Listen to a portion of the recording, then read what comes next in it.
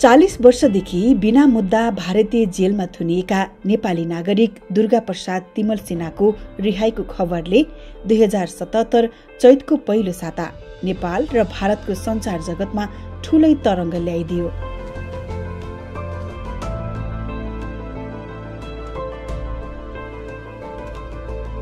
दुवै देशका पत्रकारले यो खबर बाहिर ल्याएपछि दुवै देशका सरकारले गुमनाम दुर्गा प्रसादको बारेमा चासो दिएका थिए र उनी तत्काल रिहा हुन सके।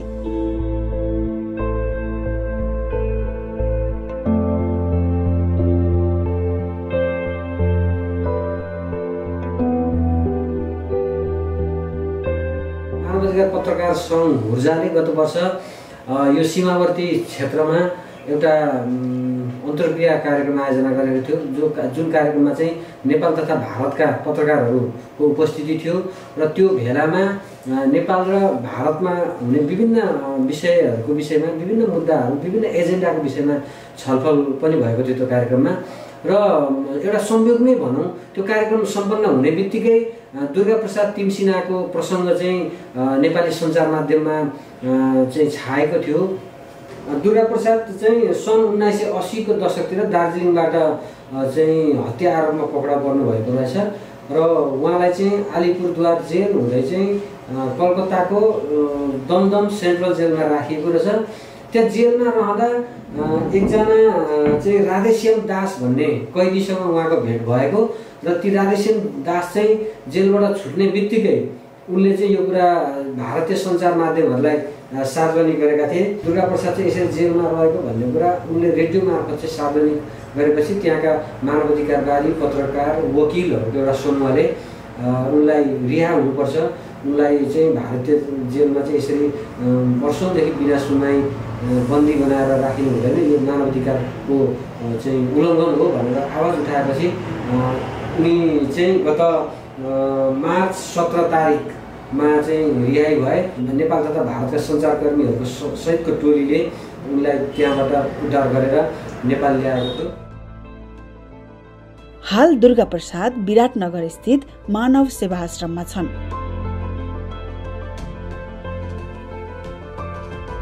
उनको दिमागी हालत पहिले भन्दा केही सुधार भएको छ। सबै मनपर्छ सबै आफ्नो मिलेर खान्छ दुखीले पनि आफूले जान्दैन। पहिला उहाँलाई बोल्न अलिक गाह्रो पर्थ्यो।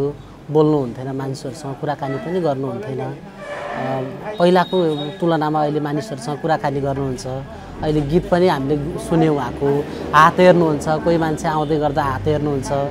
अलिकति सरसफाइमा आफैले ध्यान दिन थाल्नु भएको छ। र पहिलाको भन्दा केही न केही सुधार आएको हामीले पाएको छौँ। सीमाभन्दा माथि उठेर मानव अधिकारको विश्वव्यापी मूल्यलाई जगेर्ना गर्न नेपाल र भारतका पत्रकार तथा नागरिक समाजले थालेको संयुक्त प्रयासले ल्याएको परिवर्तनको यो एक नमुना मात्रै हो। मानव अधिकार पत्रकार सङ्घ हुर्जाले नेपाल र भारतका पत्रकार बीच सुरु गरेको अन्तर्देशीय सहकार्य आदान प्रदानले मानव अधिकार सुशासन र विधिको शासन बलियो पार्न दुवै देशका सञ्चारकर्मी बीच संवादको थालनी गरेको छ।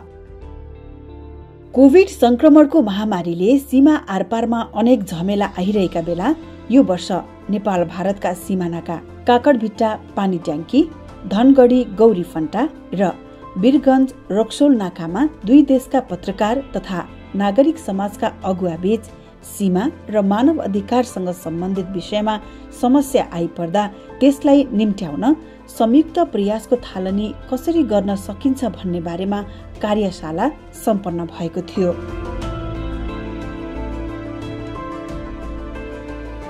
त्यस्तै चीनसँगको मुख्य उत्तरी नाका रसुवागढी केरुङमा विद्यमान समस्याका बारेमा त्यहाँका व्यापारी तथा व्यवसायीसँग हुर्जाले वृहत छलफल गरेको थियो। अन्तर्देशीय सम्बन्ध भएका मानव अधिकारका सबै खाले मुद्दामा आपसी सहकार्य गर्न दुवै देशका पत्रकार लागि परेका छन्। सबैभन्दा ठुलो चिन्ताको विषय भनेको मानवीय अस्तित्वलाई हामीले जोगाड गर्नु अनि संरक्षण गर्नु हो। र यो कुनै पनि चिज भन्दाखेरि पनि माथिको चिज कुरो अनि त्यहाँदेखिको हाम्रो अस्तित्वसँग जोडिएको चिज हो। र यसलाई कुनै पनि सिमानाले एउटा राजनीतिक सिमानाले सांस्कृतिक र संस्कारको हिसाबले पनि हामीले हेर्नुभन्दा पहिला पनि यो माथि त्योभन्दा माथिको कुरो हो अर्को लेभलको कुरो हो। किन भन्दाखेरि मानव त बाँचे नै भोलिको हाम्रो अस्तित्व बाँच्नेछ। र जुन प्रकारले एउटा मानव अधिकार पत्रकार सङ्घ भनेर हजुरहरूले पहल गर्नुभएको छ नेपालबाट। यो एकदमै सराहनीय पहल हो। सिक्किममा पनि मानव अधिकार पत्रकार सङ्घको शाखा सुरुवात गर्नको निम्ति हामी आन्तरिक हृदयबाट नै स्वागत जनाउन चाहन्छौँ। यसका साथै प्रत्येक सीमामा हुने मानव अधिकारसँग जोडिएका मुख्य विषयको पहिचान गरी त्यसको समाधान गर्न आम सञ्चारलाई घचघचाउने काम पनि हुर्जाले गरेको छ। उदाहरणका लागि पूर्वी नाकामा भारतको पश्चिम बङ्गालदेखि आउने हात्तीले नेपालको सीमावर्ती जिल्ला झापाको बाहुन डाँगीमा पुर्याएको क्षति र हात्ती संरक्षणमा परेको असरलाई मुख्य समस्याका रूपमा पहिचान गरिएको छ। हात्तीको चाहिँ एकदमै के भन्छ आउने प्रमुख ठाउँ चाहिँ यो हो। विशेष गरेर यता पूर्वपट्टि इन्डियाको जङ्गल पर्छ। त्यो जङ्गलबाट ठ्याक्कै यसको ठिक्क पूर्वबाट चाहिँ हात्ती निक्लिने गर्छ र माथि तल बाहुन्डागीदेखि अझै तलसम्म पनि उसको प्रभाव रहेको छ। सुरुमा त मान्छे र हात्ती बिचमा एकदमै ठुलो द्वन्द्व थियो जसको कारणले चाहिँ जसले भेट्यो त्यसलाई माइट इज राइट भने जस्तै नै। अब हात्तीले भेटायो भने अवसर पायो भने मान्छे मार्ने मान्छेले अवसर पायो भने हात्ती मार्ने भइरहेको थियो बाहुने यहाँ मात्रै छब्बिसजना मान्छे मारिएको र मान्छेबाट चाहिँ एघारवटा हात्ती मारिएको चाहिँ र त्यो सक्त रूपमा चाहिँ अहिले पनि चारजना चाहिँ घाइतेहरू हुनुहुन्छ। र त्यो घाइतेहरूलाई अहिले दुईजना साथीहरू त अपाङ्गो भएर ओछ्यानमा हुनुहुन्छ। उहाँहरूलाई चाहिँ कुनै सरकारले हेर्ने अथवा चाहिँ कुनै निगरानी दिने त्यस्तो चाहिँ केही पनि भएको छैन। उहाँहरू चाहिँ अहिले एउटा व्यथा बोकेर चाहिँ ओछ्यानमै हुनुहुन्छ। अनि हात्ती आएछ हो गर्नु थाल्यो अब बेलुका। कुन चाहिँले खुट्टामै पराल बालेर बङ्गै छेउमै फ्याल्दैछ म त अलिक टाढै थिएँ। अब त मलाई त आयो भने पनि भेट्दैन भनेर टाढा उभिरहेको थिएँ। डाङ डङ र डङ गरेर खेदिएर आयो। सबै उत्तर उति भागो। आइगयो हात्ती सिधै आयो। म पनि भाग्नु पऱ्यो भने जुरुक्क उठेर घुँडा टेकेको मात्रै थिएँ। हात टस चाहिँ बोलिरहेछ हातमा। अनि के गर्नु? अब मा मारिहाल्छ। आखिरी मर्छु मर्छु म भनेर छ्याप्पै सुँडमा यसरी पक्रेँ खस्रो नखस्रो लाग्यो सुँड पनि। अनि त्यहाँबाट झुन्डेको झुन्डेको यो खुट्टाले त्यो सुँडमा चेपिरहेछ माथि माथि माथि टर्स बलिरहेछ घुमाएर अरू त सबै टाढा माथि चढेर हेर्छ। कोही मान्छे आएन त्यहाँदेखि चाहिँ। त्यहाँदेखि बल्ल निकै बेर नै तिन मिनट जस्तो घुमाएपछि चाहिँ उसलाई त्यो हात्ती पनि आत्तिएछ। गरेर कान पनि बन्द भयो। त्यही कानकै छेउमा मुख कानै बन्द भयो अनि झड्काइरहेको चाहिँ म कति पैँतिस छत्तिस फुट चाहिँ फ्याल्यो होला। आलीमा गएर ब्राङ्गै बजिरह्यो। अनि बजेपछि यो चाहिँ भाँच चाहिँ मलाई थाहा छ। आन्द्रा छिने छिनेको चाहिँ थाहा भएन। आन्द्रा चाहिँ छिनेको थाहा भएन। चट्टै छिनेछ त्यहीँ जोडिएछ र पनि उठेर यसो एकछिन चाहिँ हेरिहिँड्ने मेरो त्यो ज्याकेटहरू त्यो झाडनहरू के अरे तौली बेरेको थिएँ त्यो हेरिहिँड्ने देखिन्। भक्लाको घुँडा टेकियो यो भाँचेकोले रहेछ घुँडा टेकिएपछि त उठ्नै सकिनँ अब यो हाम्रो छेउमा यहाँ तारबार छ यो अफसेट सोलर फेन्स हो यसले पारिबाट जुन चाहिँ सिजनल माइग्रेटरी हड हात्तीहरू यहाँ हाम्रो नेपालमा आउँछ त्यसलाई यसले कम गरेको छ। धानको सिजनमा इन्डियापट्टिको पनि त्यो फरेस्ट एरियाहरूपट्टि गाउँहरूमा सबैले धान खेती गरेकोले गर्दाखेरि हात्ती बाँडिएर बसेको हुन्छ। मकैको सिजनमा कसैले खेती गर्दैनन् त्यसले गर्दाखेरि सबै हात्ती यहाँ कन्सन्ट्रेट हुन्छ एकै ठाउँमा हुन्छ। वन्यजन्तु र टुरिज्मलाई नै जोडेर हामी नेपालमा एसियन ग्रामीण पर्यटन महोत्सव गर्छौँ भने भारतमा चाहिँ हामी ओरेन्ज फेस्टिभल भनेर कलकत्तामा गर्ने गरेको छौँ। मानव हात्ती द्वन्द्वका अलावा आप्रवासी कामदारमाथि हुने दुर्व्यवहार मानव तस्करी चेलीबेटी बेचबिखन लागु औषध तथा हतियारको कारोबार, आपराधिक गिरोहको सञ्जाल लगायतका विषय नेपाल भारत सीमाका प्रमुख समस्या हुन्। यसको आपसमा डटेर सामना गर्न दुवै देशका सञ्चारकर्मी र नागरिक अगुवा एकजुट भएका छन्। कि जो मानव के अधिकार हैं, वो सरहदों से भी ऊपर हैं और सरकारों से भी ऊपर हैं। क्योंकि सरकार तो मानव के हितों के लिए बनते हैं। और बॉर्डर भी जो हम लोगों ने तय किया होता है क्योंकि ये नागरिकों ने तय किया है। तो ऐसे में आप लोगों की जो ये पहल है, क्योंकि मानव के हित को सुरक्षित रखना ही हमारा अंतिम लक्ष्य है। और ये बहुत ही अच्छी बात है, जो दोनों देशों के पत्रकार हैं, उनको भी निश्चित तौर पर ये ध्यान रखना चाहिए, कोई भी चीज़, खबर को लिखते समय, क्योंकि पत्रकारिता का मूल धर्म तो है कि हमको खबर को जनता के बीच में लाना है। लेकिन तथ्यों के साथ लाएँ, और जो आप लोगों की पहल है कि कुछ भी ऐसी चीज़ें हम लोग न करें कि जिसको, जिससे कि किसी को राजनीतिक माइलेज मिले। कि हामी सधैँ सँगै नेपाल र भारत वर्षौँदेखि हामी सँगै छौँ तर बावजुद पनि हाम्रा बिचमा केही समस्याहरू छन्। यी दुइटै देशको समस्या समाधान गर्नलाई राज्य सरकारले गर्ने कुरा हो। यो नै महत्त्वपूर्ण कुरा हो भन्ने मलाई लाग्छ। किनभने सुरुवात गर्छु भन्ने भन्दा पनि जुन दिन सुरुवात भयो त्यो सुन्दर पक्ष हो जस्तै अहिले घटनाहरू अधिकतर घटिराखेका छन्। कि यो सोचका कारणले घटना घटेको हो जस्तो मलाई लाग्छ। पत्रकारिता भन्नु र प्रहरी भन्नु या प्रशासन भन्नु it is complementary and supplementary हो राज्य सिस्टममा। यो ह्युमन राइट्सको प्रि प्रिभेन्सन र प्रोटेक्सन र प्रमोसनको लागि यी सबै संयन्त्रहरू कम् कम्प्लिमेन्ट्री हुन्। सप्लिमेन्ट्री हुन् security check is one part but where there is humanitarian case we we have to look after that सिमानामा मानव अधिकारका कुनै पनि त्यस्ता किसिमका घटनाहरू भए समस्याहरू भयो भने हामीले भारतमा हाम्रो काउन्टर पार्ट्स एसएसबी उहाँ उहाँहरू हुनुहुन्छ। उहाँहरूसँग हामीले आवश्यक समन्वय गरेर त्यस्ता किसिमका मानव अधिकारका कुनै पनि सिमानामा त्यस्ता समस्या आयो भने हामीले एउटा समन्वयको उसमा चाहिँ हामीले समाधान त्यसरी नै गरिरहेछौँ। भारतमा जस्तो नेपालको उत्तरी छिमेकी देश चीनमा स्वतन्त्र नागरिक समाज र खुल्ला प्रेसको अस्तित्व छैन। यसले गर्दा चीनसँग जोडिएका सिमानामा देखिएका समस्या समाधानमा जटिलता देखिएको छ। खास गरी दुई हजार बहत्तरको भूकम्पपछि दुई देशको मूल व्यापारिक नाकाका रूपमा सञ्चालित रसुवाको केरुङ रसुवागढी नाकामा दुई वर्षदेखि चीनले लगाएको अघोषित नाकाबन्दीले नेपाली पक्ष ज्यादै प्रताडित छ। रसुवागढीदेखि चाइनासम्म चौबिस किलोमिटर छ। उहाँहरूले सत्तरी हजार घोर्मु एक गाडी हाम्रो कन्टेनर एक गाडीको सत्तरी हजार घोर्मुसम्म हामीले तिरेर जाने जाने हाम्रो दस लाख जति पर्छ एक गाडी एक कन्टेनर चौबिस किलोमिटर भएर। त्यतिसम्म तिरेर हाम्रो हामीले सामानहरू ल्याउनु परेको थियो होइन। एकदमै अब लुटै भन्छु म चाहिँ।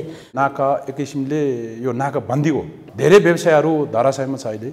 चाइनाको एकलौटी ढङ्गले चाहिँ उसको आफ्नो सामान मात्रै पठाउने। जस्तै आयात निर्यात थियो योभन्दा अगाडि हामी होइन अहिले हामी एकदम धाराशयमा छौँ र जति पनि तपाईँको लगानी गर्न खोज्छ व्यवसायले लगानी उसको त्यो लगानी हराउने हो कि या आइपुग्ने हो भने त्यस्तो निश्चित पनि हुन्न। अन्धधुन्धमा लगानी गर्नु परेको छ किनभने नेपाली मान्छेहरू माथि जानु पाएको छैन। त्यसैले उसले जति जे जस्तो पठाए पनि हुन्छ। कुनै सामान चाहिँ अब तपाईँको माग अनुसार चाहिँ आइपुग्दैन। कुनै चाहिँ बाटोमै हारेको अवस्था हुन्छ। अघोषित नाकाबन्दीले नेपालका व्यापारीले धेरै दुःख पाएका छन्। चाइनिजले एकचोटि यो यी बोर्डरमा पास देखाएँ पास देखाएपछि ब्याग गो भन्यो होइन। त्यसपछि एउटा फेरि अर्कोचोटि नागरिकता देखाउँदाखेरि लात्ताले पनि हिर्कायो क्या चाइनिजहरूले कुट्ने त्यस्तो गर्ने गरिरहेछ गाडी व्यवसायहरूले त लास्टै गर्छ होइन। त्यो सोध्न केही पनि हुँदै हुँदैन सर त्यो। उनीहरूसित दोहोरो बात गर्नै मिल्दैन। उसले ऊ भनिसकेपछि भन्यो जा भनेपछि फर्किनु पऱ्यो उनीहरूले केही भन्दै भन्दैन। हामी एकदम पीडितमा छौँ। फलफुल व्यापारी। अलिअलि लत्ता कपडा नि आउँछ। र तपाईँको भन्नुपर्दा केरुङमा चाहिँ लुटपाट बढिरहेछ। उनीहरूले त आश दिएको दिएकै छ भोलि खोल्छ पर्सि खोल्छ निकोर्सी खोल्छ। हामी त यो भन्दा भन्दा भन्दा बस्दा त कहिले नाका खोल्छ भनेर हेरेँ हेरेँ। बोर्डरमा आफ्नो सामान आछ लोड गर्नलाई उनीहरूले लोडिङ मिल्दैन तरिका जान्दैन आफू जान पाउँदैन। आफ्नो सामानको सुरक्षा आफैले गर्न नपाउने। भन्नुपर्दा यही त हो नि स्याउको पीडित हो हामी।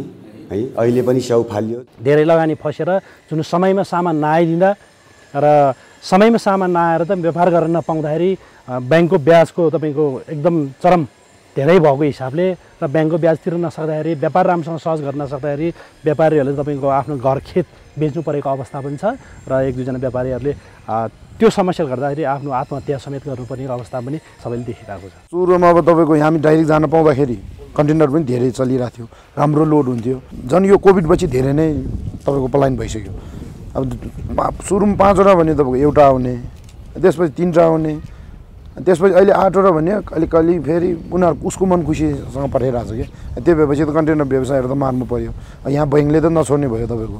किस्ता महिना गएपछि थपिरहने अनि कहीँ सञ्चालन गर्न नपाउने अनि त्यो कारणवश अब कन्टेनर व्यवसायहरू अनि पलायन हुने अवस्था आयो। म चाहिँ विदेश जाने भन्ने मेरो प्लान थियो तर हाम्रो यहीँ रसुवा नाका खोल्ने भनेपछि अब अहिले अब नेपालले पनि अब आफ्नै रोजगार आफ्नै ठाउँमा गरौँ भन्ने एउटा ऊ आगो हिसाबले नै मैले नै अब लो अब ऋण ता ऋण गरेर यताउति गरेर मैले चाहिँ गाडी व्यवसाय गरेँ। कोभिडभन्दा अलिकति अगाडिसम्म चाहिँ अब घर पनि धानिरहेकै थियो। आफ्नो आफ्नो गाडीको किस्ता पनि अलिक राम्रै भइरहेको थियो।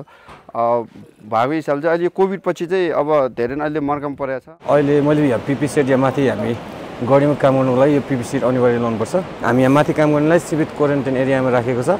त्यही ठाउँबाट हामी त्यहीँ बस्ने खाने सँग गरेर अनि डाइरेक्ट आउनुपर्छ। जस अहिले चाहिँ धेरै सहज भएको। हो पहिला अब सुरुमा स्टार्टिङको पिरियडमा त अब त्यतिखेर मान्छेसँग हाउभाउमा घुलमिल हुन नपाउने। अब अहिले चाहिँ जसको क्वारेन्टाइन एरिया भन्यो नि हामी अब साथीभाइहरू थोरै हामी आफ्नो ठाउँमा बस्ने रमाउने। जस अहिले चाहिँ सहजै छ हजुरहरूसँग यसरी भेटघाट गर्ने म माहौलै थिएन त्यतिखेर। असार तेह्र गते आयौँ सतहत्तरको। असार तेह्र गतेबाट पन्ध्र दिनसम्म हामी क्वारेन्टाइनमै बस्यौँ। काम चालु भएन। म जस्तै धेरै छौँ रसुवामा पाँच छ सयवटा कन्टेनरहरू किनेका थियौँ। त्यो सबै आफ्नो पैसाले किनेको होइन।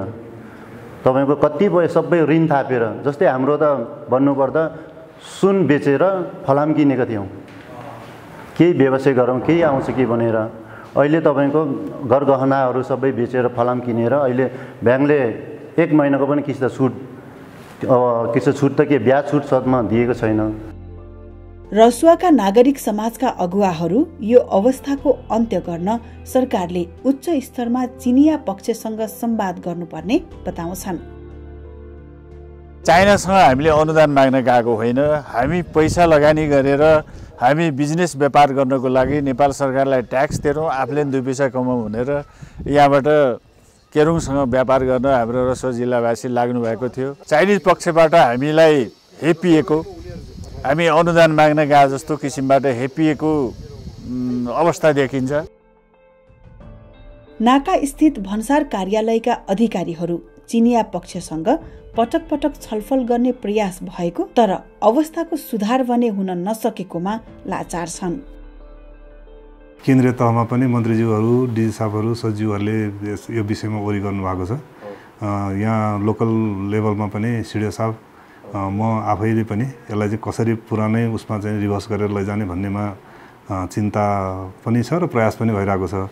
र विशेष त अहिले हामीले चाहिँ नि हाम्रो लासा स्थित नेपाली महावाणिज्य दूत नवराज ढकाल सरको कोअर्डिनेसनमा चाइना पक्षसँग मिटिङ गर्ने र के हो समस्या यसलाई कसरी चाहिँ संरक्षण गर्ने भन्ने विषयमा हामी प्रयासरत छौँ। उत्तर दक्षिण दुवैतिरका सीमासँग सम्बन्धित यस्ता समस्याको निराकरणमा आम सञ्चारको भूमिका महत्त्वपूर्ण साबित भएको छ। यो चिनमा कोभिड देखिँदा पुरा संसारभर कोभिड यो कोरोना भाइरस घुम्यो नेपाललाई के पनि भएन। जब भारतमा चाहिँ देखिन थाल्यो भारत सङ्क्रमित भयो र हामी पनि सङ्क्रमित भयौँ। मिडियाको मेन विशेषता के हो भन्दाखेरि जतिसुकै विषय जतिसुकै इस्यु संसारमा हुन्छ। त्यो इस्यु चाहिँ नि सबै मानवसँग जोडिएको इस्यु हुन्छ हेर्नुहोस् है। चाहे त्यो आर्थिक सामाजिक राजनैतिक परम्परागत या पोलिटिक्स सुशासन र मानव अधिकार प्रवर्धनका लागि हुर्जाले पत्रकारहरू बीचको सञ्जाल निर्माणलाई निरन्तर अघि बढाउने प्रण गरेको छ।